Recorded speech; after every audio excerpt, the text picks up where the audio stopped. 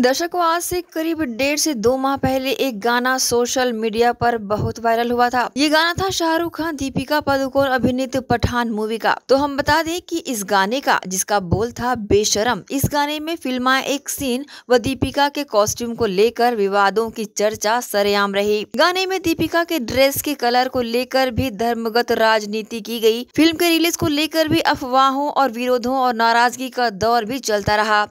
और फाइनली 25 जनवरी को फ़िल्म पठान रिलीज़ होकर सिनेमा घरों में लग भी गई। फ़िल्म के सारे शोज़ हाउसफुल जाने लगे और इन सात दिनों में पठान मूवी ने सारे रिकॉर्ड ही तोड़ डाले।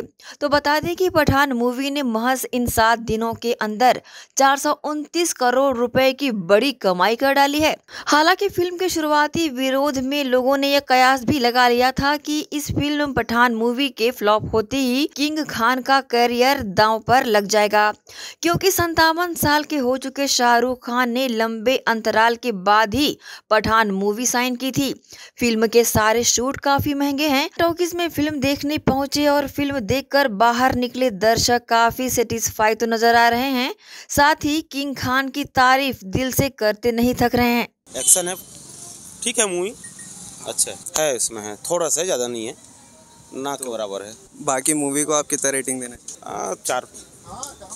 पाँच में से चार।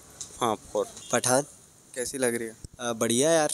सलमान खान का जो एंट्री है सबसे बेहतर लगा मज़ा आया। आ, थोड़ा कपड़ा ठीक बट उतना बॉलीवुड के लिए ठीक है यार उतना ख़राब भी नहीं था। कितनी रेटिंग देना चाहिए टेन ऑफ़ टू एट अभी तो पठान देख के आया हूँ मिराज से। okay. इतनी प्यारी मूवी है शाहरुख खान चार साल बाद पहली बार आया हुआ है। इतनी सुपर हिट मूवी है मैं तो इस मूवी को खूब दुआ दूँगा।